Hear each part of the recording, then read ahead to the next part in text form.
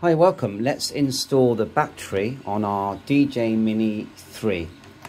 All you do is fold down the legs on both sides. Like so. And that will expose the, the clips and there is a clip on both sides. As you can see, just pinch those two clips.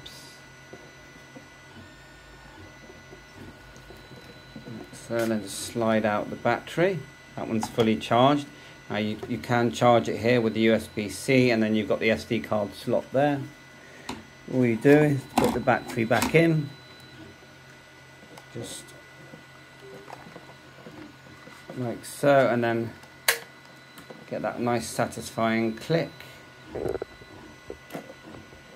let's get the charger in there. So at this point you can fold down the arms. Of course be careful not to twist, you know, damage anything. Twisting it round and down. And then, let me just put this in like so.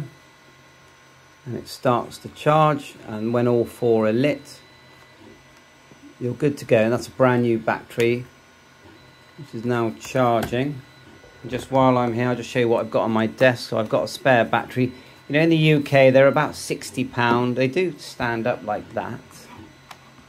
In the USA, they do a larger 3850 milliamp hour battery. It's about $95 in the USA. In the UK, we, we, we can't legally use that because it takes us over the weight.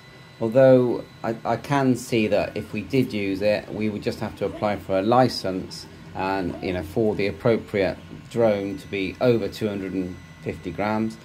But there is a you know there is a larger battery. Our battery is 2453 milliamp hour so it does make quite a difference. There's charging there.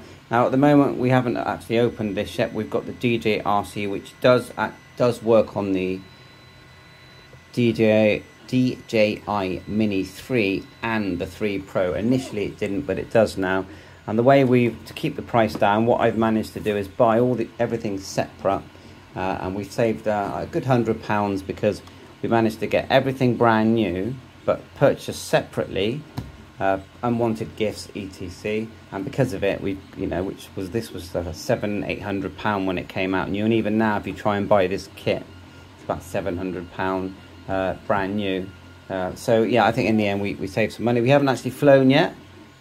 We've, we've applied for our, well no, we've taken the 40 question air that's needed in the UK and the next thing is we're just going to, we've got the ID number because we passed the test. You have to uh, get at least at least 30 questions. I watched I watched a few YouTube videos to, to learn it and then I uh, passed the test and so before we can fly this we'll be asking for a operator ID for this drone and then we'll be labeling this drone with the operator ID. But otherwise, that's how you change the battery and uh, very good quality. And apparently you get around 30, about 30 to 40 minutes roughly.